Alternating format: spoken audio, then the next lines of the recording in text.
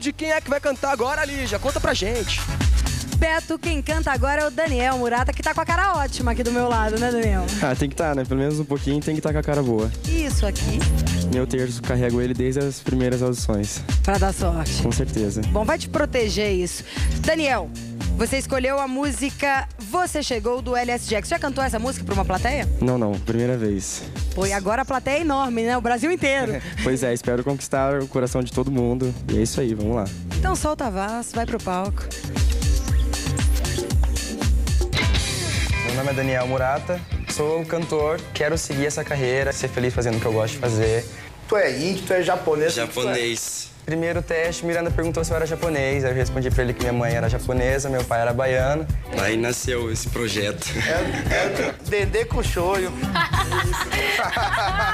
o apelido só foram aumentando. Japonego, Black Japa momento mais difícil para mim, na minha prova do trio, que tinha um, um, candidato que não sabia a letra da música, ele não conseguiu decorar. Bolsa que tem Aí naquele momento eu achei, eu tô indo embora hoje, acabou. Você continua no Ídolos. Aquela parte de subir o elevador, na hora que abre aquela porta, você vê aquele tapete vermelho, os quatro jurados sentados, aquela cadeirinha na frente, você fala, nossa. Tu acha que tem moral de estar nisso, cara? Não sei, depende de vocês. Tem sim, velho. A gente acha. Espero conquistar vocês, Brasil. Eu vou cantar com meu coração. Tem que chegar gigante, né? É o meu papel. Tem que fazer isso.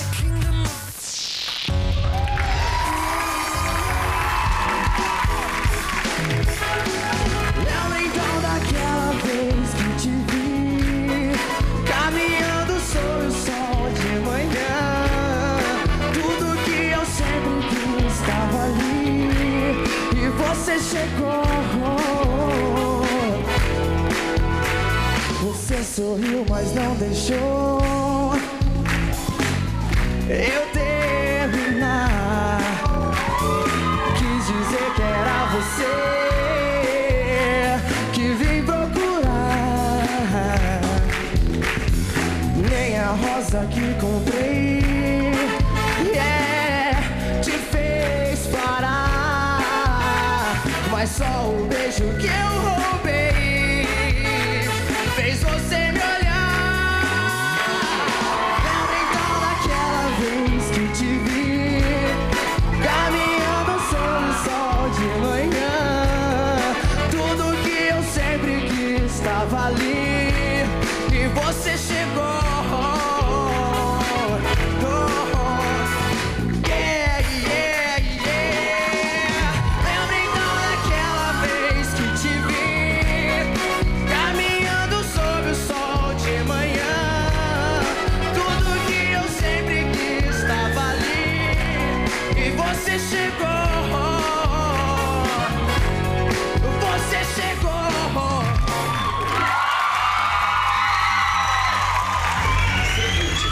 pensando aqui se eu gostei ou não, não cheguei a uma conclusão ainda, tá?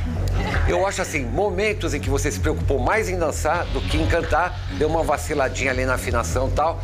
Bom, mas quer saber, cara, eu gostei. Boa sorte. Obrigado, Ana. Obrigado.